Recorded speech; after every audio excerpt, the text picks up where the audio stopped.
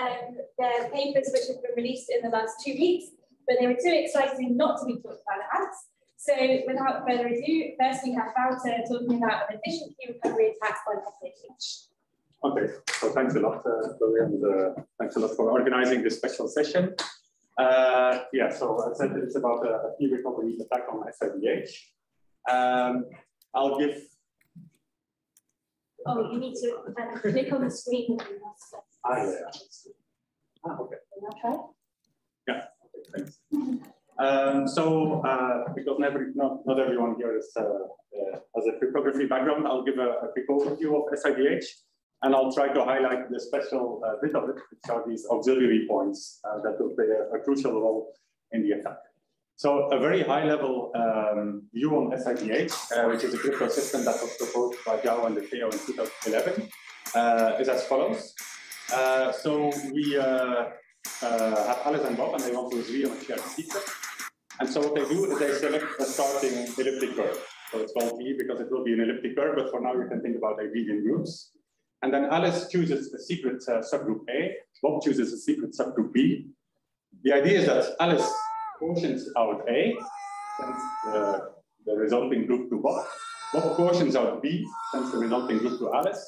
And now Alice quotients out E modulo B further by her A somehow. And Bob does the same. He quotients out the E modulo A that he receives from Alice further by his B. Yeah, and then the, the idea is that both of them have uh, the same group, namely the original group E, quotiented out by the group generated by A and B. Okay. Of course, this is uh, mathematical nonsense, what is written here, because this A is not a subgroup of E modulo B. Okay, so to make this precise, you have to say how A should be viewed as a subgroup of modulo B. In other words, you have to provide uh, like the, the quotient map yeah, from uh, E. I have to point here. So you have to provide the quotient map from uh, E to modulo A. And this allows uh, Bob to view, to view B as a subgroup of modulo. But of course, this is highly problematic uh, because uh, this just reveals A and B as the kernels. And so what Jao and De Feo uh, came up with uh, was a trick to get around this. Uh, and this is the source of these uh, auxiliary points. Um, so what they uh, proposed was, um, well, on top of E, on top of the starting uh, curve or starting group E, let's also agree on some base points.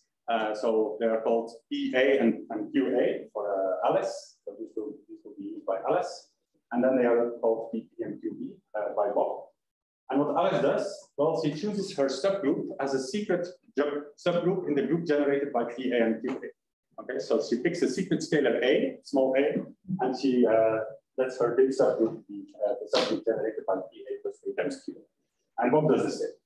Okay, so using these public points, they generate their group. And now instead of giving the quotient map, uh, Alice will not give the quotient map, but she will give the images of Bob's auxiliary points under that uh, they,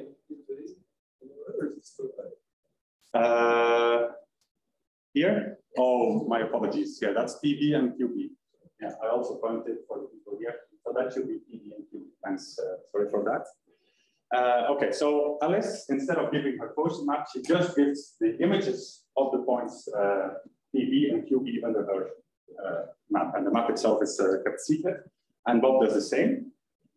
Uh, and now Alice can indeed compute the image of her secret group under Bob's secret isogeny phi b by using these points that Bob sends along. Okay, because what is the image? This phi b of her secret group A. This is phi b of the group generated by PA plus A times QA. By, by, by linearity, uh, this is the group generated by phi b of PA plus A times phi b of and these two auxiliary points, they are sent along. So she can compute the image of that group. Uh, and the idea is that this does not reveal her, her group itself, uh, this, uh, this data that is being transmitted. Okay, and so this is what makes the protocol uh, work from a constructive point of view. That's uh, here, this construction, because this is uh, kind of crucial. Okay, so now just to make things complete, let's let's give a simplified uh, version of, uh, of SIDH, so the super singular isogeny DH protocol. Um, so as said, the, the group will be an elliptic curve. I will, here in this talk, work, work with a very concrete starting curve, y squared equals x cubed plus x. Um, and we will work over uh, uh, fp squared, where p is a prime of this form, 2 to the e times 3 to the f minus 1. Um, and this, this makes sure that uh, yeah, all the 2 to the e torsion points that we will encounter along the way will be defined over fp squared as well. And all the 3 to the f torsion points that will encounter along the way will also be defined over fp squared as well. So this is a technical assumption, but uh, for the high level mathematics, this is not important. And uh, the auxiliary points of Alice, that will be just a basis of this 2 to the e torsion. And the auxiliary points of Bob, this will be the basis of these uh, 3 to the f torsion. Uh, so yeah, this is just to have this torsion defined over f squared, as I said. And now we just carry out what we did before, what we said before. So Alice chooses a secret A, builds her secret subgroup uh, from this. So this is a subgroup of the 2 to the e torsion, as you see, because it's generated, it's a, a linear combination of PA and QA. And now she computes the quotient. Okay, but this quotient map is an isogeny.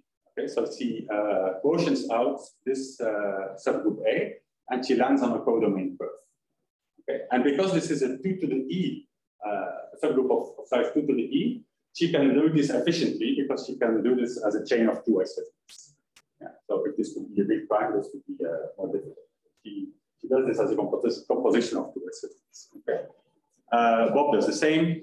So this is the same as before, and he computes this phi B as a composition of three S because his secret group is now a subgroup of the 3 to the F.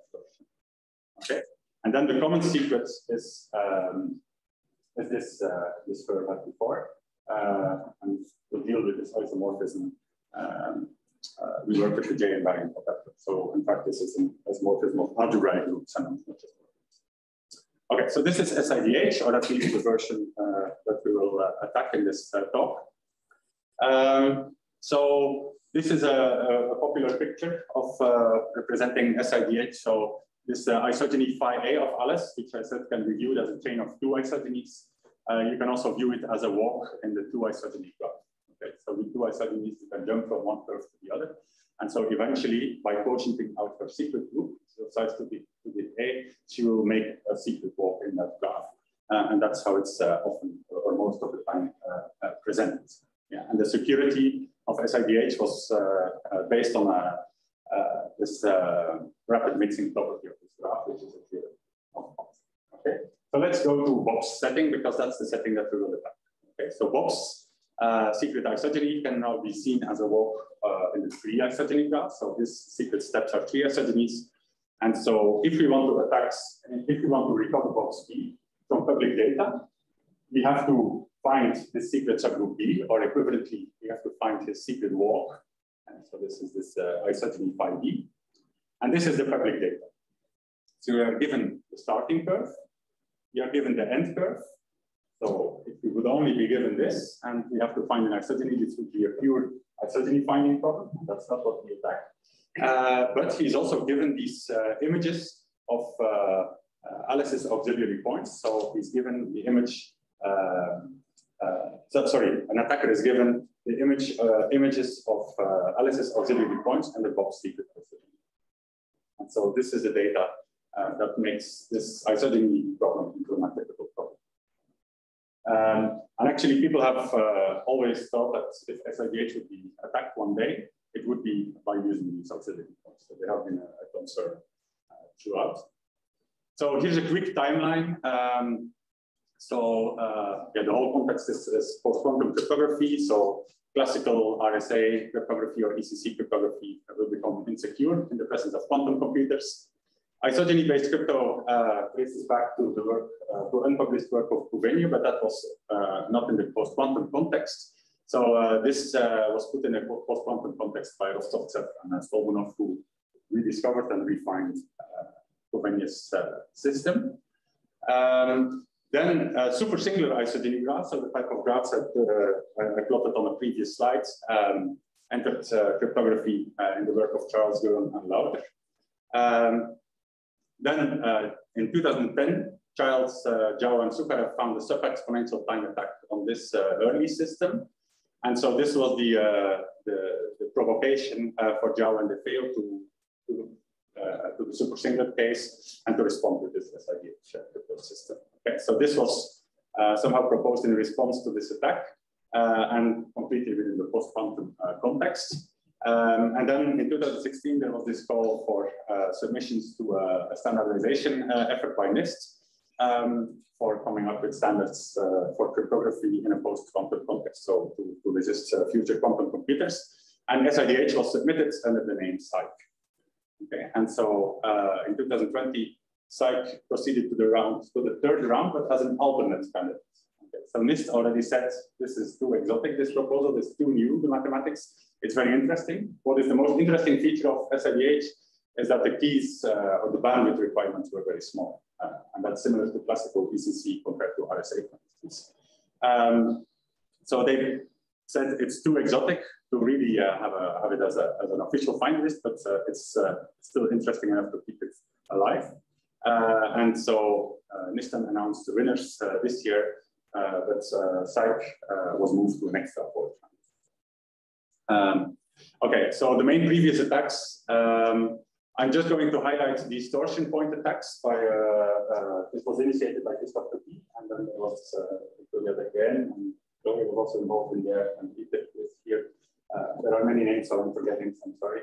Uh, so they already uh, focused on the distortion points and they uh, observed that if these uh, parameters 2 to the e and 3 to the f were very unbalanced, then you could uh, attack uh, So this is uh, already an illustration that these torsion points uh, make for an atypical isotherm. So our attack runs in heuristic polynomial time. This is for this specific starting curve. I will say a little bit more about that uh, later. Uh, modulo some integer factorization that we have to do, but this is pre-computable. It only depends on the system parameters. And of course, post-quantum, this is uh, uh, so uh, I'll also say a bit more about that uh, later. I hope I'm not talking for too long. Um, but we will uh, target uh, Bob's secret tree to the F isogeny using the auxiliary fidelity torsion. Okay, so what is the idea?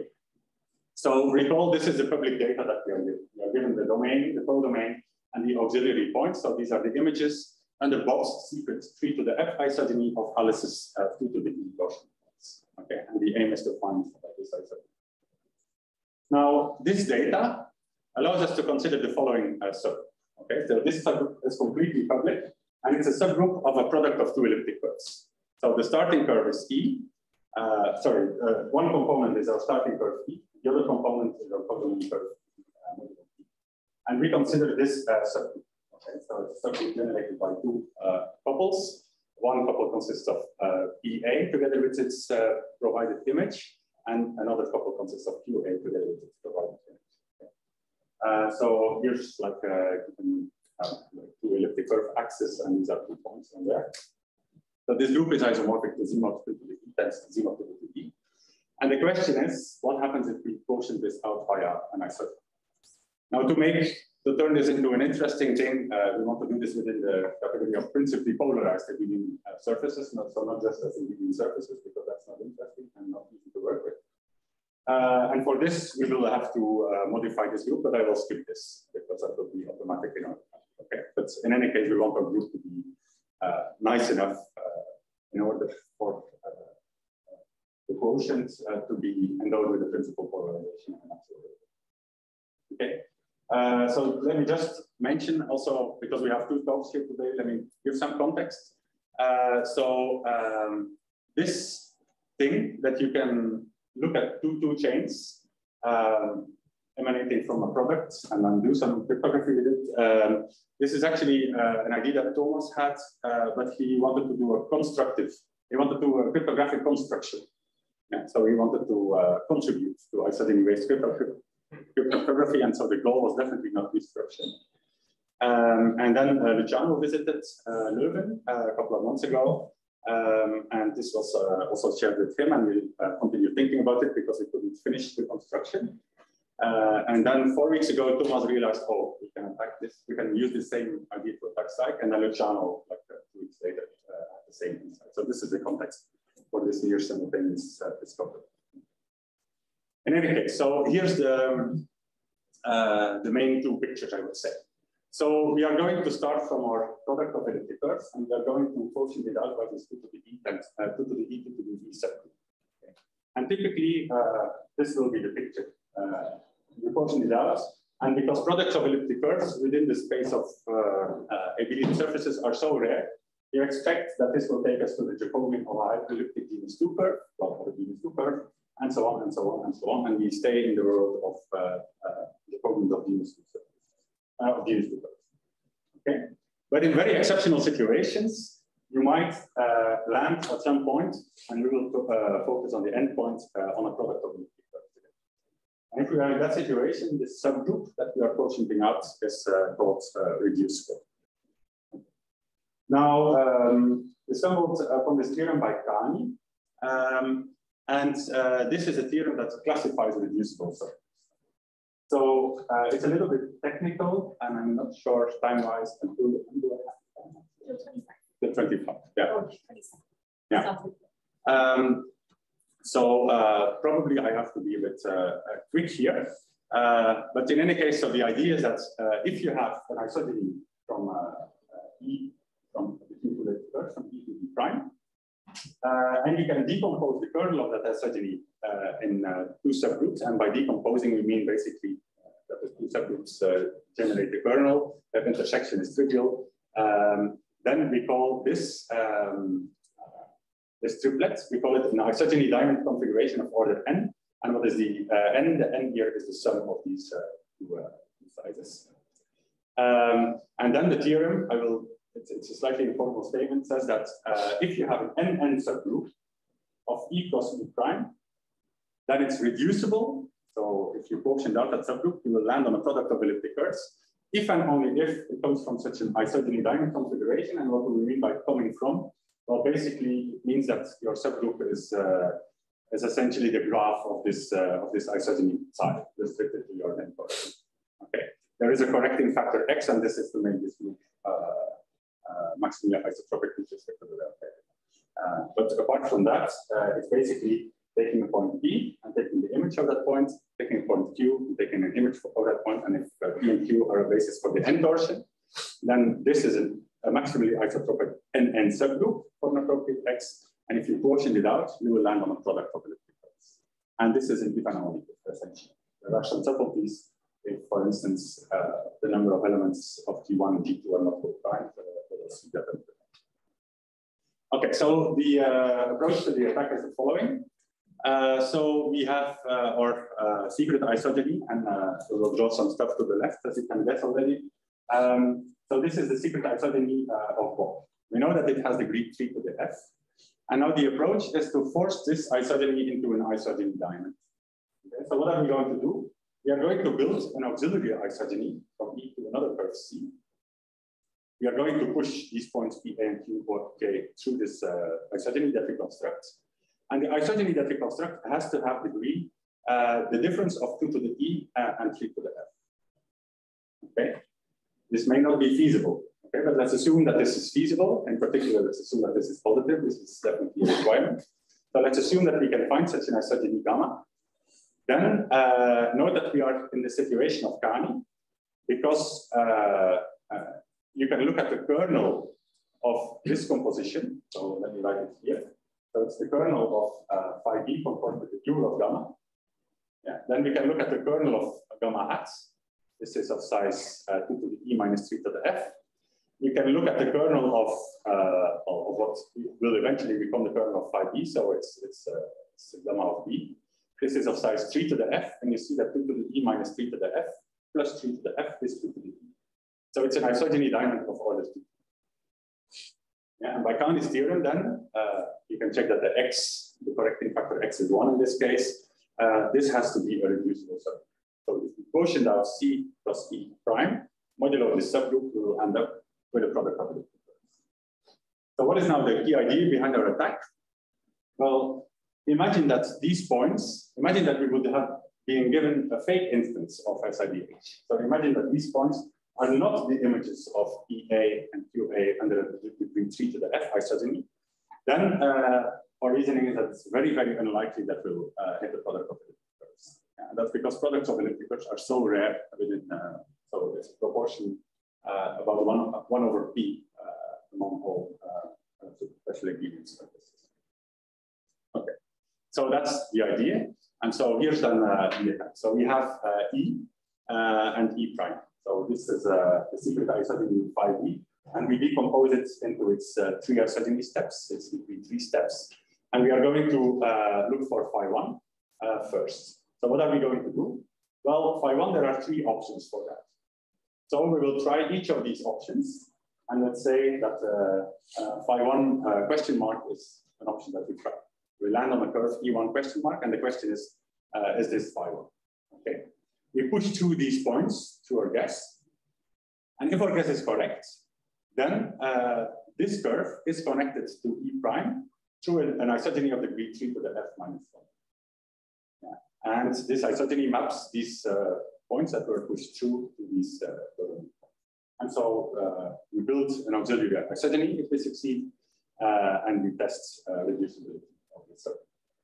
If it's indeed reducible, we probably make a correct guess. If it's if it's not reducible, so if we land on Jacobian of a GS2 curve, then we uh, probably made the wrong guess, and we try with another uh, one question. Okay, and then we continue in this way. And once we have found the correct uh, phi one, we can now start from E1, uh, and then uh, so so you see that the C, the, the degree of the auxiliary auxiliary changes all the time, uh, and so on. And so we build. Okay. So, uh, so that's the attack. Is that kind of clear? Um, okay, so now I want to say something about, uh, I want to say some things uh, for sure. Um, so I'll be a bit quick here. In any case, so the goal uh, in each iteration of the attack is to build this auxiliary isogeny. And the isogeny has to have degree uh, 2 to the e minus 3 to the f minus 5, the right step. Okay.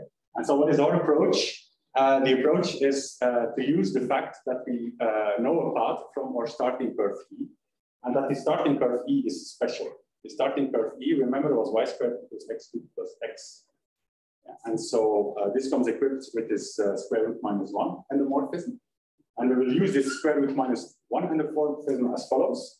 So we hope that the degree of the isogeny that we are targeting is a sum of two squares. This probability is not unreasonable. Uh, and if it's a sum of two squares, we can write it uh, as u plus iv times u minus iv for certain integers u. And this allows us to build this endomorphism of E. And this degree, the degree of this endomorphism is exactly C. And now we are going to build this gamma uh, by uh, walking in this direction, applying this, and then uh, applying a twisted version of the dual of this. So basically what we are going to do is we are going to uh, map the kernel of this under this epsilon to a new kernel, and we going to push it. It's a bit technical. In any case, we can use this, um, this uh, uh, endomorphism of degree C to build an isogeny of degree C. So that's, uh, uh, okay, so this hope is not totally unreasonable, but most integers are not the sum of two squares. So uh, um, in any case, so what is the cost of deciding the existence of this, of this uh, decomposition of this square plus uh, d? That's where the factoring comes from. And we have to factor these numbers, and then we have to check if each prime factor basically is one modulo four.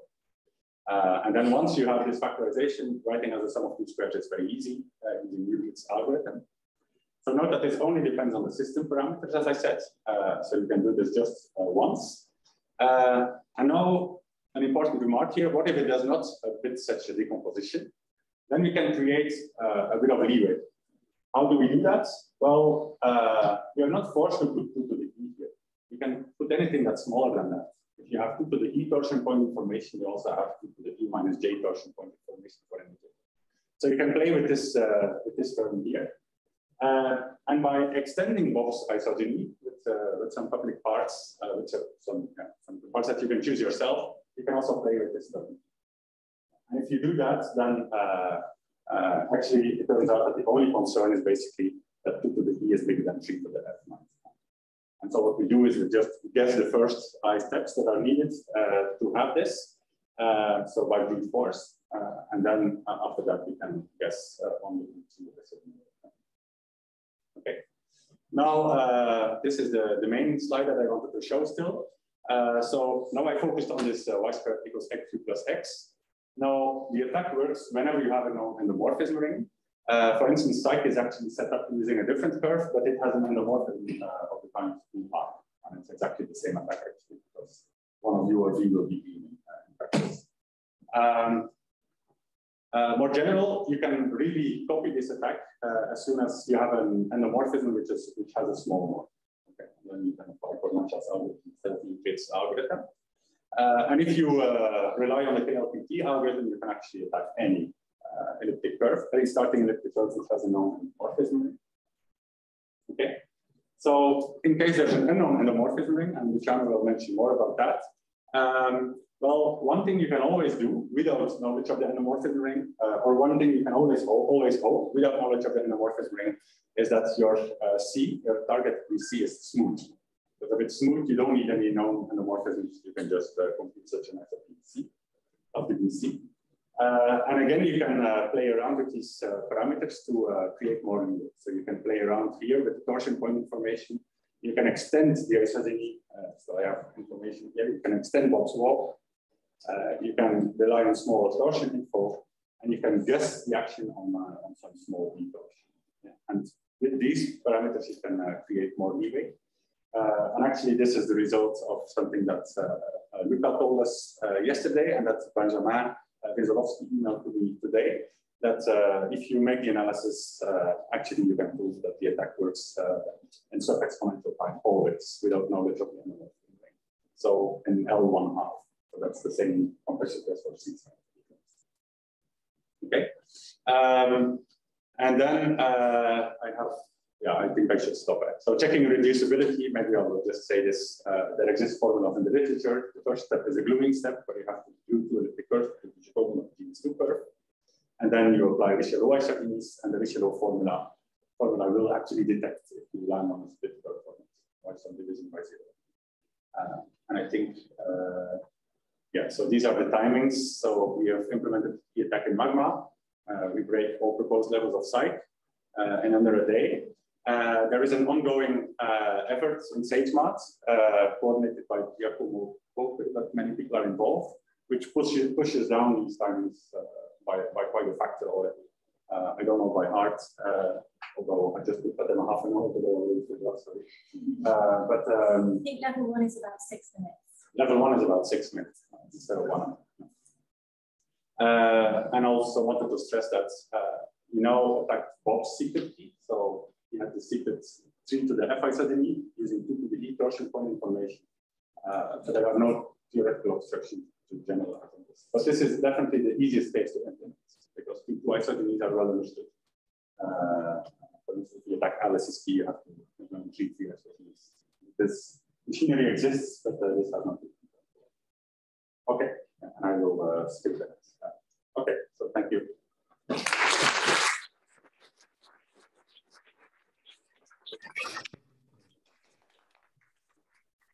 Well, there are many questions, but we only have time for very, one very quick one, and I'll have to move the rest of the break.